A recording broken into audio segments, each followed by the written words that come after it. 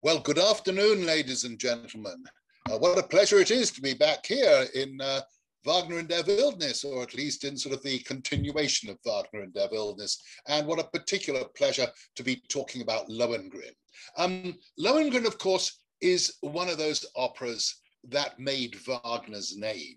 Uh, between the 1850s and the 1870s, this was the opera that became very widely performed, first in Germany and then later uh, in other countries. And in fact, um, it has remained one of the most frequently performed of all his music dramas until, uh, in fact, until 1930. In fact, from after his death in 1882 through to 1930, it was the most widely performed of all of Wagner's operas. However, not all cities were quite as welcoming to his works uh, as, as, others were. And the real, the real sort of resistance to uh, Wagner among in European cities in particular was Paris. Uh, Wagner had a cataclysmic start when, mainly for political reasons, uh, the production of Tannhäuser uh, that took place in the uh, um, uh, the opera received a tumultuous and hostile reception.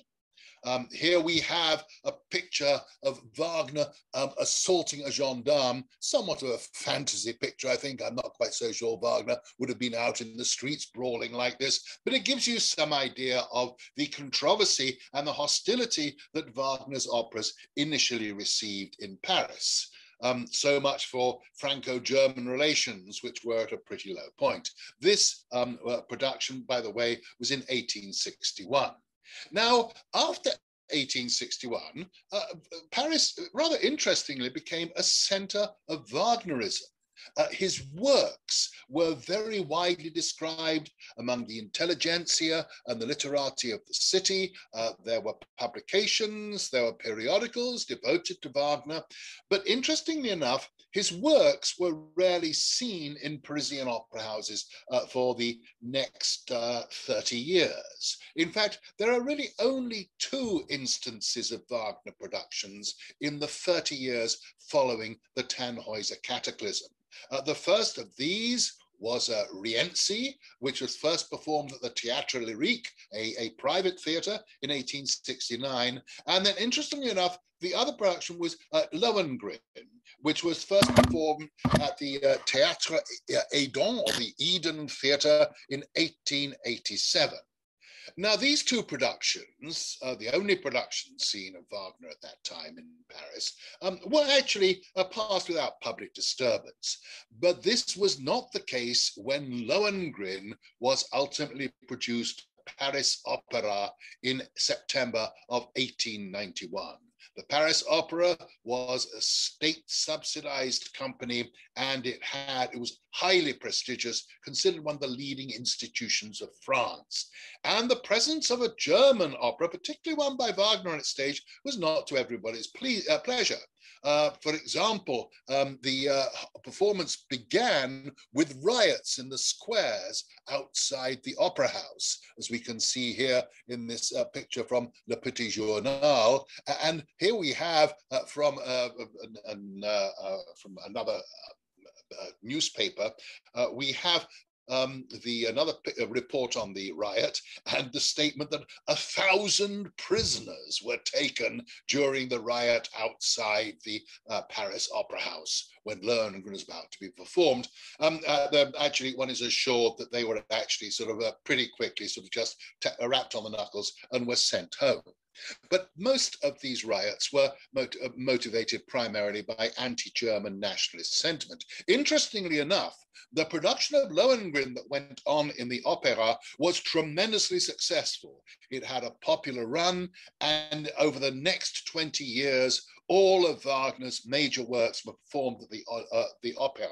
And by the time we get to 1914, along with Verdi, he was the most popular opera composer in the repertoire of the opera.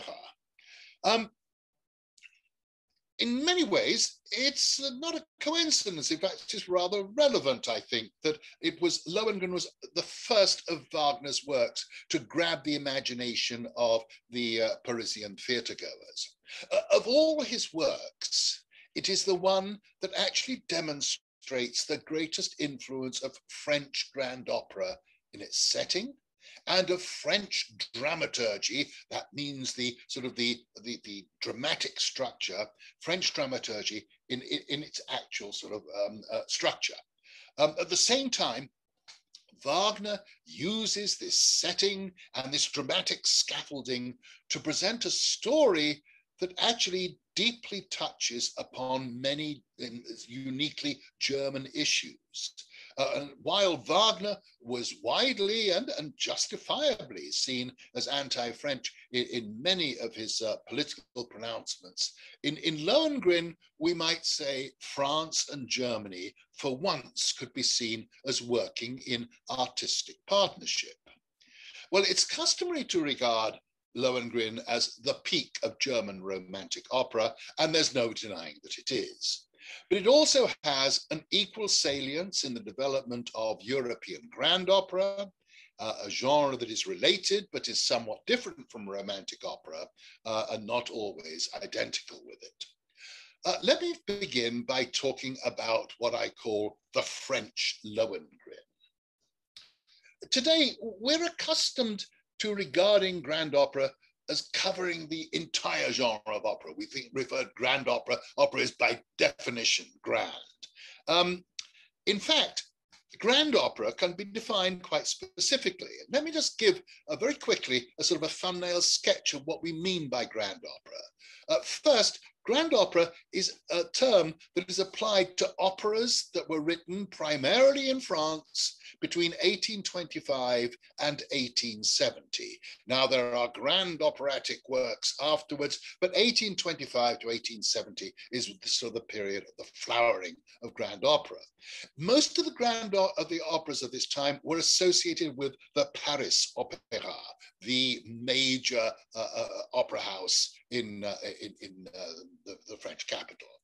Next, most grand operas were in five acts. And one of the reasons for this, I've come from, at least is what certain historians say, is because Shakespeare wrote plays in five acts. And there was sort of a, a, a grand, Shakespeare was associated with a certain grandiosity on the stage. And this was something that grand opera was trying to play off.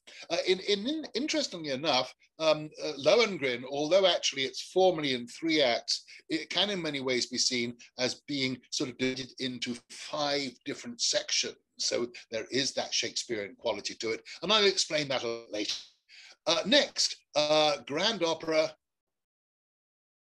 uh, uses historical settings usually the European uh, Middle Ages and the Renaissance, uh, sometimes ancient Rome, sometimes uh, one or two other uh, fantastic uh, uh, environments. But historical settings were particularly important. The, now, this is a crucial thing. The grand opera involved immense spectacle, hyper-realistic sets, lavish costumes, flashy lighting, and catastrophic ending. Um, and and uh, the, the, catastrophe at the end of the Grand Opera was something that all audiences look forward to. Uh, the ballet was de rigueur. Interestingly enough, we do not have a ballet in, uh, in Lohengrin. That is one aspect of the Grand Opera uh, that the work does not uh, uh, re resemble. But um, the Grand Opera had massive orchestra and extended choruses, and musically it tended to be quite eclectic. Um, it was immensely popular. Uh, it made Paris the capital of the operatic world. Productions were gigantic and uh, technically immensely skilled. The technology of the theatre is really quite remarkable. Uh, composers and opera artists went to Paris to make their names. Wagner went to Paris to see if he could make his name as a grand operatic composer. So too did Verdi. Verdi was being more successful at it, actually. Um, were breathtakingly beautiful. Let's look for just a moment at Act Two of Meyerbeer's Les Huguenots, uh, which um, is uh, was first performed at the Opera in 1836. Uh, we have this this gorgeous sort of picture, sort of a palace outside Paris, um, and uh, the, these uh, the, uh, the, sets and the stages on which Grand, Opera performed were capable, if necessary, of accommodating hundreds of choruses and extras and dancers. Uh, here we have uh, Meyerbeer's Le Prophète, uh, a, a, picture from the first production in London, which was the same year as when Le Prophète was done in 1849. Uh, and, and you can see here um, we get the idea of sort of the, the grandeur of grand opera. There are some pictures of the French production that have even more people on stage. Uh, but you can get a, get a clear idea here of both the taste for spectacle and for choruses, and also uh, for um, historical accuracy in the scenery. Uh, and here, at the same opera, uh, Le Prophète, um, the final scene uh, is set in a banquet, and the whole stage is blown up. That was the catastrophe, which caused great delight the, with the audience. Um, uh, grand opera was big business. Meyerbeer, who was the most successful of grand operatic composers, became immensely rich on the proceeds. Wagner, however, was no friend to grand opera. As a young man, he in the late, late 1830s, he had gone to Paris. He lived there for a few years to try to establish himself as a composer, but he was rejected by the operatic establishment. Meyerbeer was not nearly as helpful as Wagner has hoped he would be. And he experienced here in Paris during this stay in the 1830s uh, much that generated his anti-Gallicism and also his anti-Semitism that so marked uh, the later years of his life. He developed um, a, a, a, an extreme prejudice, prejudice against the music, against Meyerbeer's in particular, uh, finding there's little integrity. And he famously dismissed Meyerbeer's music as being a series of effects without causes, uh, which is not entirely fair, uh, though one can see uh, that there has some, it has some point to it. But even though he did not sort of um, identify himself with grand opera, he had no problem in uh, allying himself with the theatrical aspects of the form. His first major success, Rienzi, was, uh, which was first performed in Dresden in 1842, was purely in the idiom of grand opera. And it was immensely successful when it was first performed, and indeed later. It actually earned more money than almost uh, all of the other of Wagner's operas, much to Wagner's chagrin. Um, but Certainly, Rienzi did earn him his first major position as a Kapellmeister in the Dresden when it was performed there to clamorous audiences.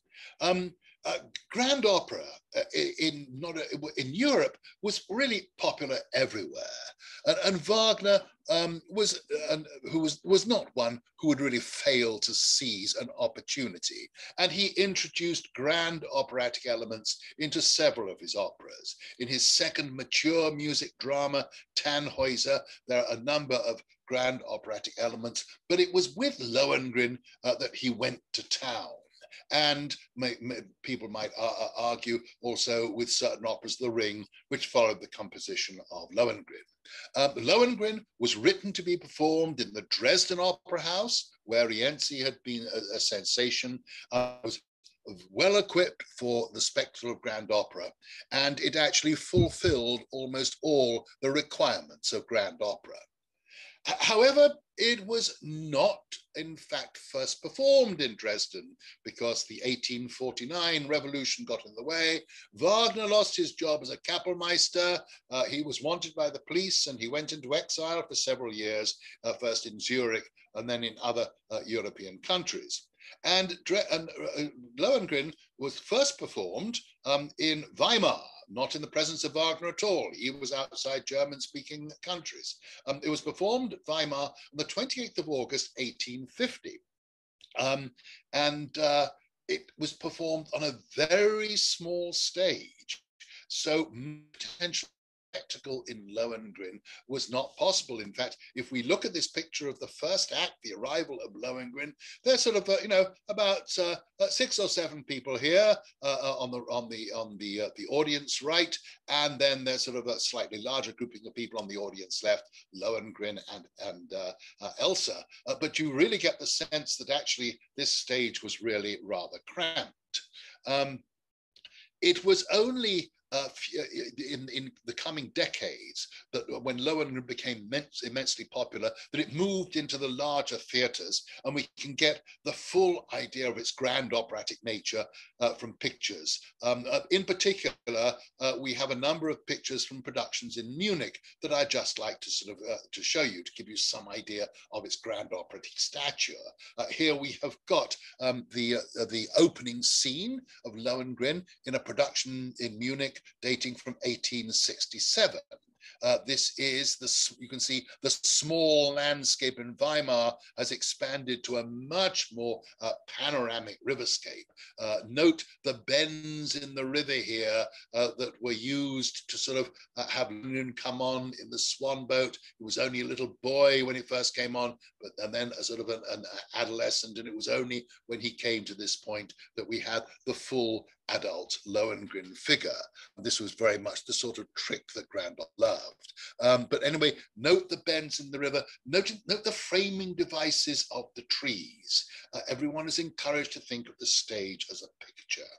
And here we have Act Two, uh, from uh, a, a, production just a, a, a few years later. Uh, basically, sort of they just changed the scenery at times when uh, when, when, when, when they revived the production. And this is Act Two, done by Angelo Quaglio, um, who's, who uh, uh this is used from 1858 to 1864. This is the palace and the cathedral.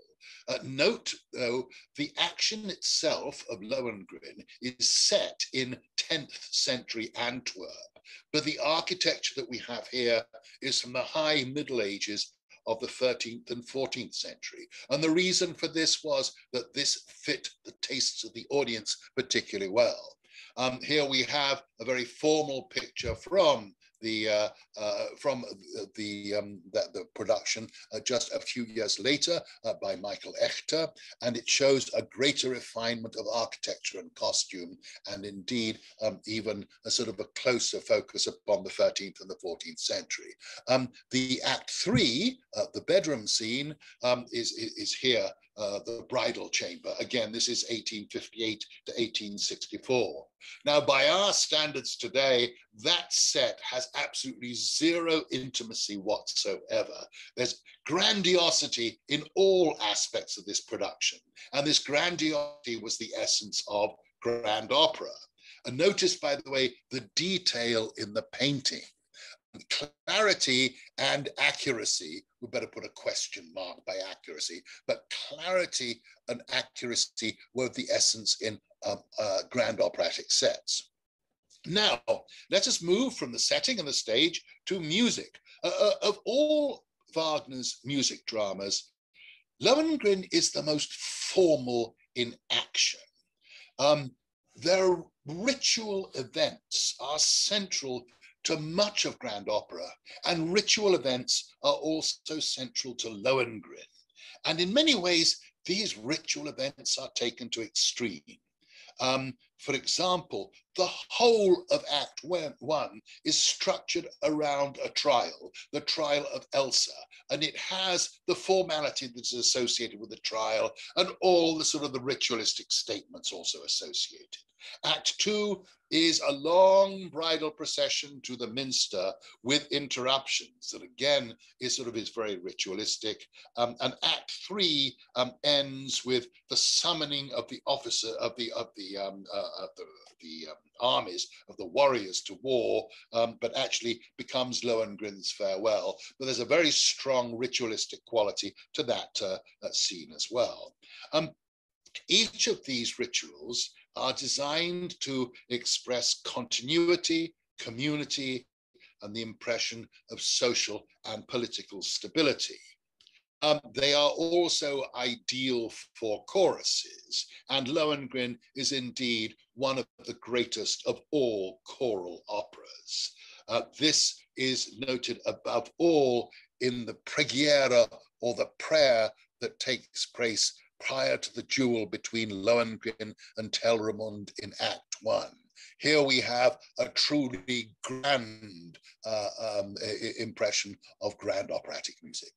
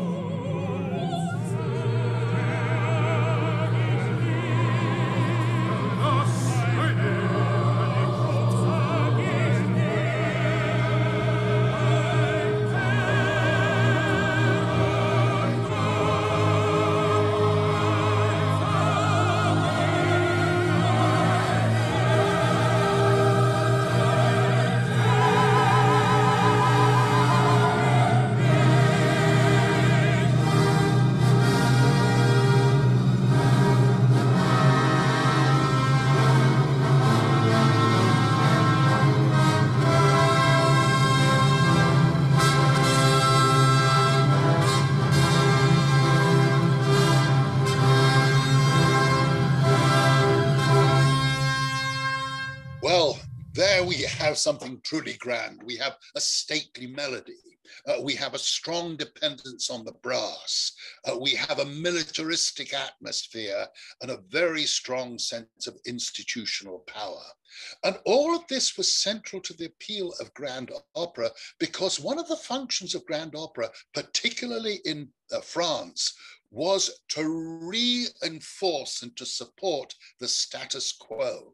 In other words, it was not, although there are revolutions in grand opera, and uh, uh, people are often very scared of revolution in operas, it but what grand operas do is basically support the power of the state and its institutions.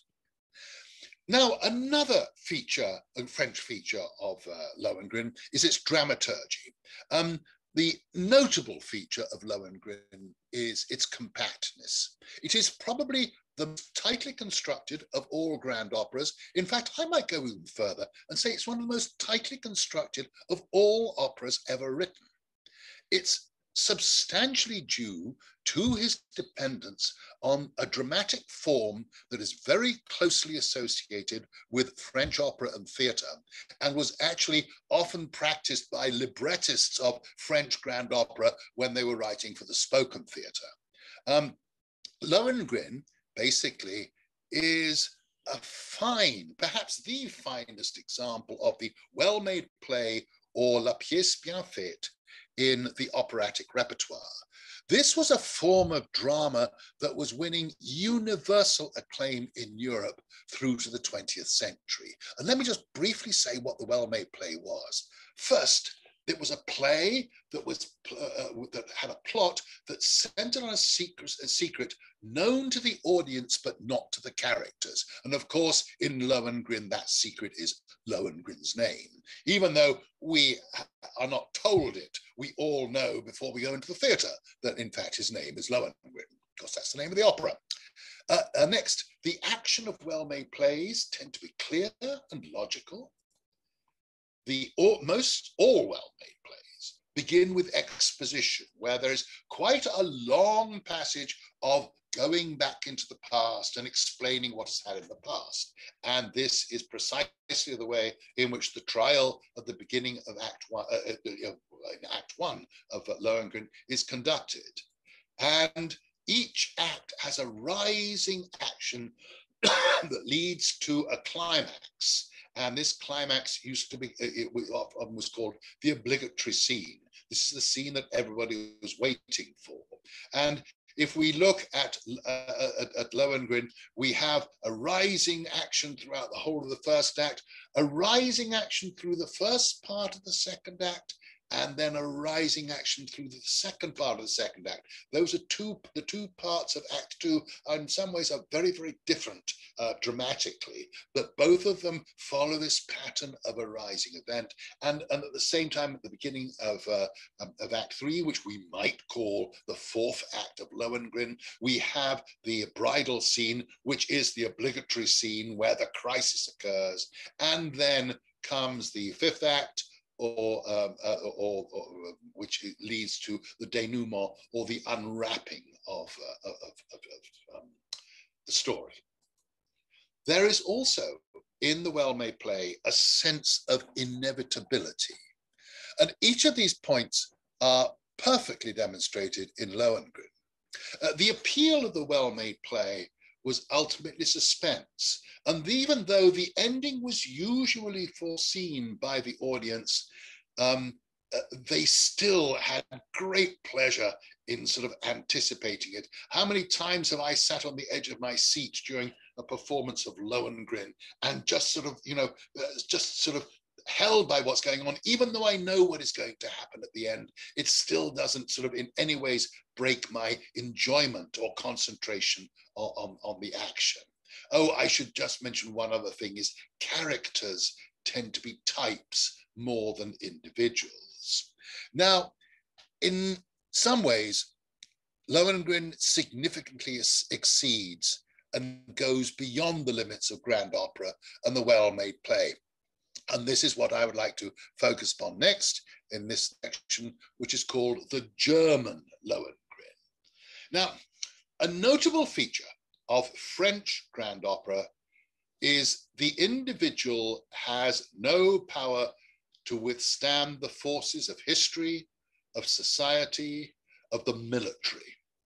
In essence, grand opera is a non-heroic genre and it's conservative as it tends to champion the status quo.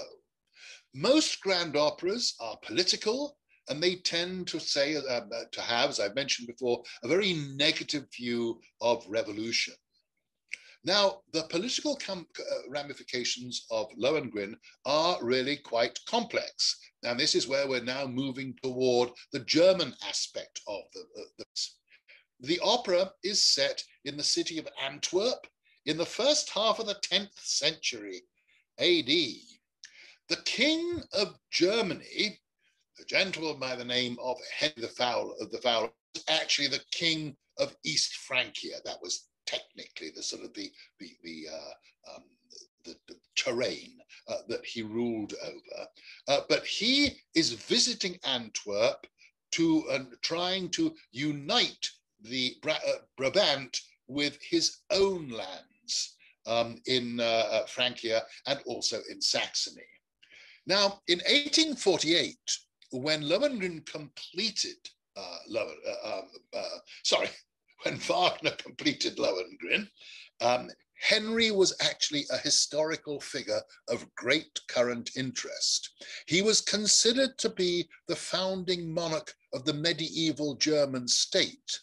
And for the nationalist advocates, German unity in Wagner's own time, in the, in the 1850s, he was a highly symbolic figure. Um, he, he was political unity that had not yet been achieved in Germany, but they but was was to be achieved um, in the uh, in, in, the decades to come.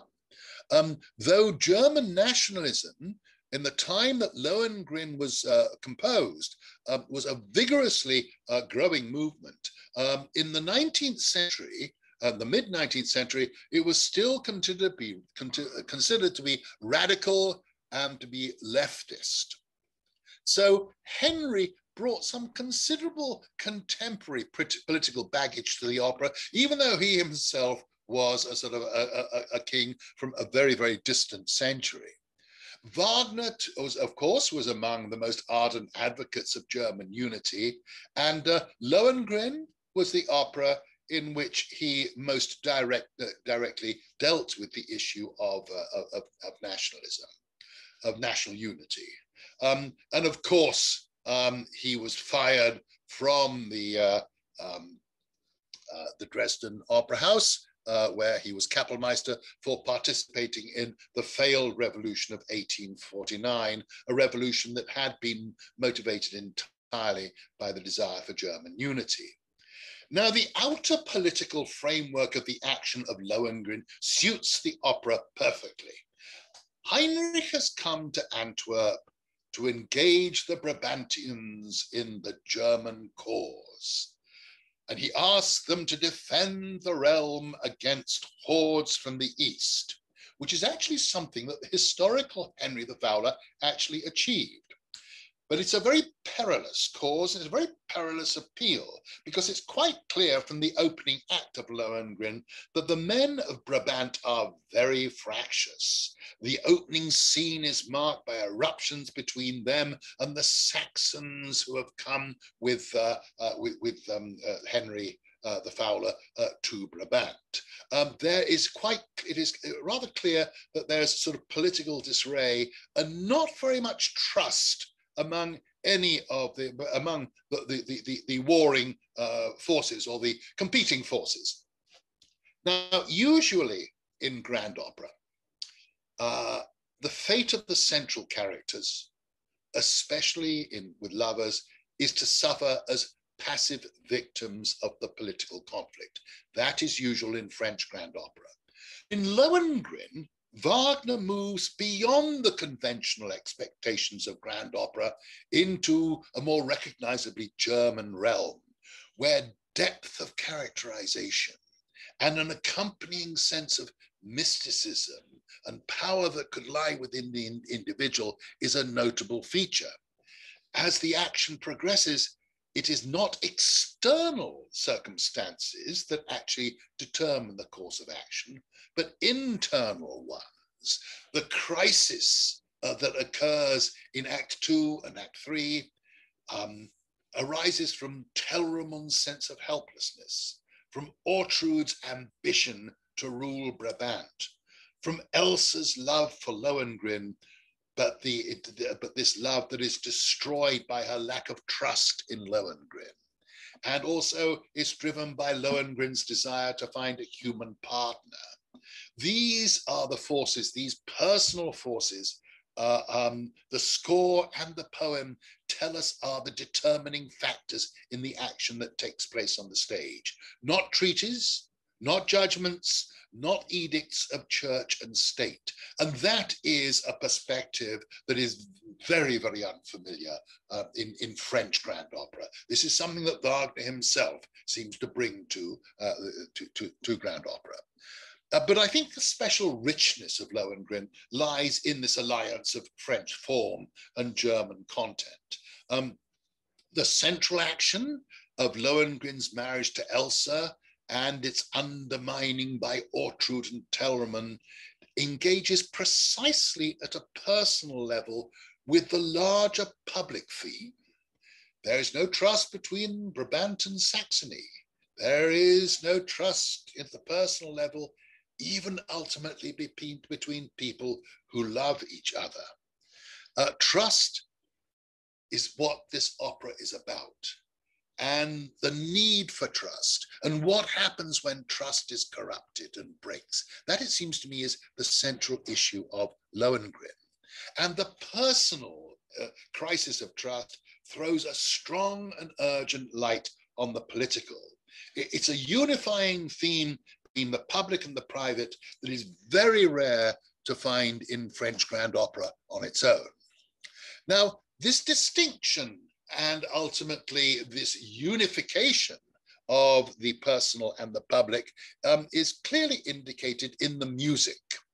Um, the, and, and let me now go through each of the sort of the major characters. There's one character in Lohengrin who belongs fully to grand opera and to the public side of matters. And that is King Henry or König Heinrich. He's there to keep order and to guarantee um, uh, some sort of political status quo. And whenever he sings, he tends to sing with authority and strong rhythms. Here we have him at the start of the opera.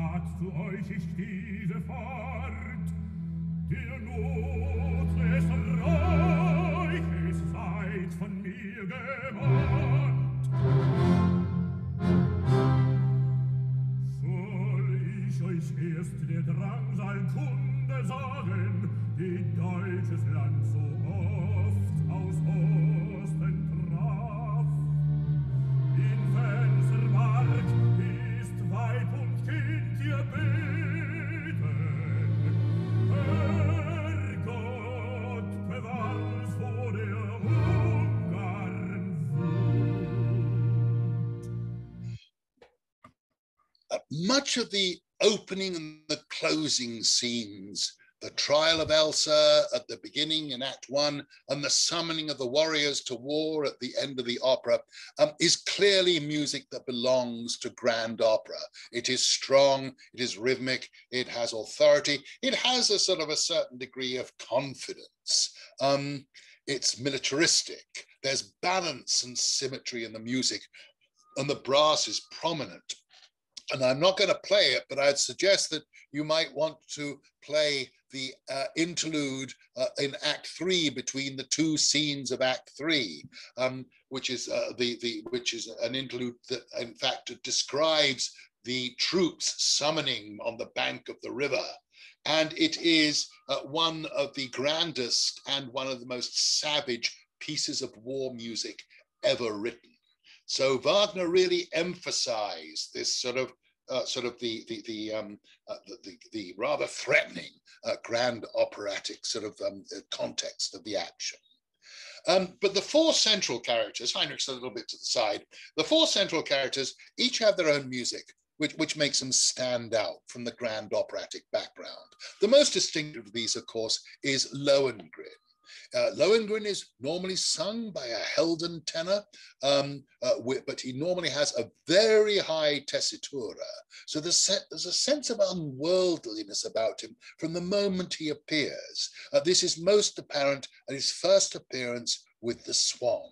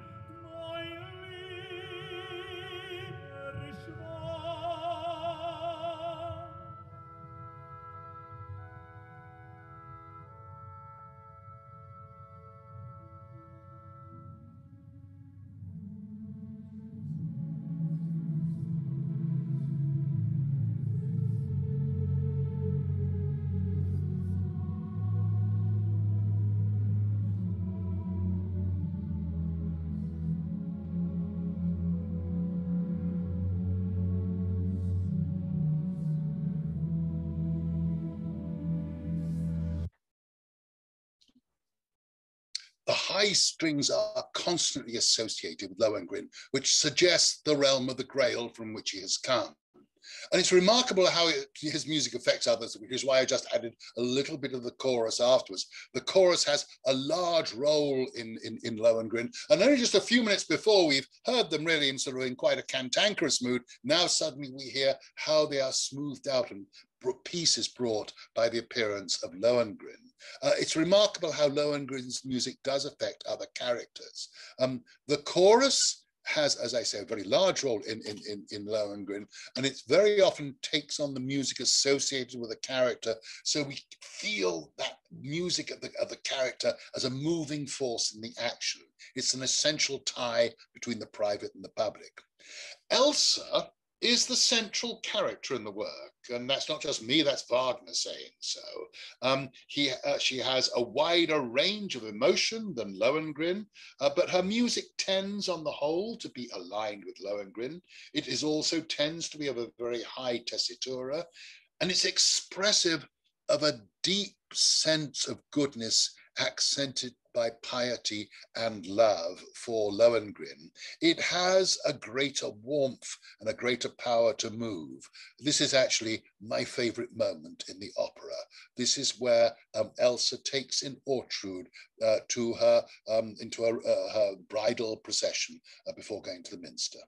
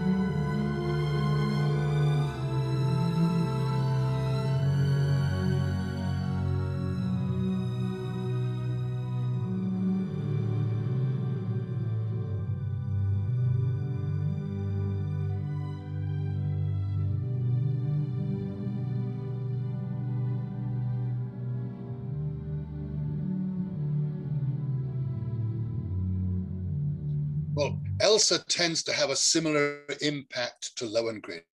Her goodness spreads to others and is felt as an active force in the action, uh, but of course, all the more painful when, when she goes through that dreadful crisis in uh, Act Three and or, or um, perhaps we might call it in in the, in Act Four, uh, when she goes through uh, that crisis and loses her trust in Lohengrin and asks him the question. But the fascinating aspect of the opera is that Wagner's most innovative music is dedicated to the two villains of the piece, um, Lohengrin himself, as a character, fits quite well into the French grand, grand operatic world. Uh, he's um, perhaps more an icon than he is a character. Um, Wagner had problems with him. Uh, he felt he could never fully warm to him as a character. He was too distant. He was like a wooden effigy. Elsa, he found far more sympathetic. That's why he considered her the central character of the work work um, because the entire work really centers around her dilemma.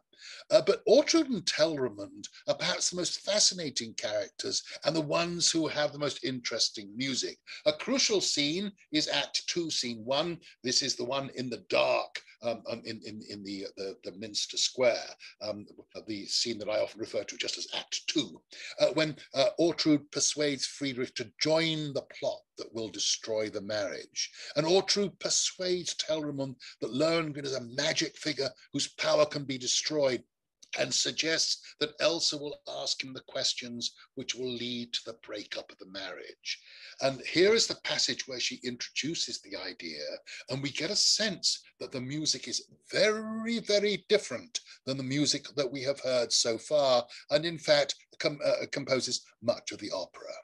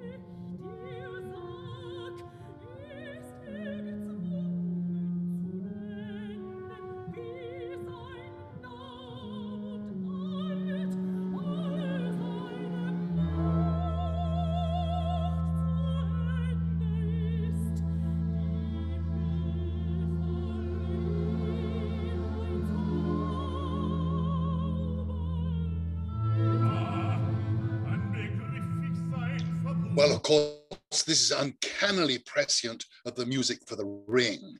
Um, the leitmotif that suggests trickery actually uh, anticipates leitmotifs of sleep that we are going to be hearing in The Ring uh, some years later. Uh, there's a nagging leitmotif that in sort of is sort of uh, indicative of Telramund's weakness that is related to the melody that um, Lohengrin has always already sung in Act One, relating to the question as to whether as to what his name is. Um, we should note that the melody is no longer structural. The music is determined by the content of the poem. Uh, the musical style is much more con uh, conversational than previous and subsequent passages. Here we actually feel that Wagner is moving towards psychological drama and Ortrud and Telramund anticipate figures from the psychological drama of the later 19th century. They are the most interesting figures and at least in terms of sort of the dramatic and musical tradition, they are in some ways the most progressive. So finally, in conclusion, a Franco-German alliance or a misalliance? I've emphasized a alliance common to see Wagner as an antipode to all the thing, all things French in opera, uh, but this is not the case at all. Um, his earlier grand operatic exercises were either, the, uh, were either gigantic and uh, too strongly influenced by the French, Rienzi is a good example, or they were deeply concerned with personal questions that didn't entirely fit, uh, fit grand operatic structure uh, and caused puzzlement among audiences. But Lohengrin brings the two sides together, the sides of France and Germany, uh, with remarkable harmony. Uh, as Liszt said, the uh, opera is an indivisible wonder um, so what's the consequence of all this? Well, the function of the well-made play is to give a closed ending with all questions answered, so the audience leaves satisfied that they know that the world is in order. Like grand opera, the well-made play supports the status quo. And when you left the grand opera, you were supposed to be filled with confidence for the status quo. But crucially, Lohengrin does not do this it does not actually ultimately give a vision of a unified world. One thing we tend to forget as the action progresses is that Heinrich is in Brabant to ask the Brabantians to help him defend Germany from the Eastern hordes. After the poetry and then the brutal drama of the wedding night, the sudden gathering um, at the end of the opera is a shock. We're suddenly brought from the personal back into the violent public life again. Uh, it's interesting when Lohengrin comes and tells everybody who he is, where he has come from, his father's Parsifal and, and, and all that. Um, he actually decides, he actually informs people, I'm not going to take the position of protector of Brabant as I had promised. Instead, I must withdraw because Elsa's breach of trust in me signifies a wider breach of trust that should bind leaders to the societies they lead. If Elsa had trusted him, the logic is that then he would have become the leader to defend Germany against hordes from the east. The romantic plot does not end in harmony, but with the necessary sundering of husband and wife in what is actually the most bleakly tragic ending in all of Wagner. Uh, the political plot um, is also unresolved. Lohengrin refused to serve as the protector of Brabant. Instead, he announces that Germany will never be invaded by hordes from the east, and then re restores Gottfried without explaining why he was taken away from the Brabantians in the first place. And the question of leadership goes unresolved. In other words, um, the sort of closed ending that was acceptable in both the well-made play and in grand opera is here taken away from us. For some, this indeterminate ending is problematic. Uh, the politics need to have as strong a resolution as the romantic plot. But I would suggest that this was not Wagner's aim. He brings the ger current German political situation, the need for political unity, to mind in the grand operatic aspects of the work, but he shows how the realities of human emotion can undermine that uh, unity in the private plot. So while arguably the purpose of the well-made play and the grand opera is to speak to and reassure closed minds, the purpose of Lohengrin is, I think, to open them. Thank you very much.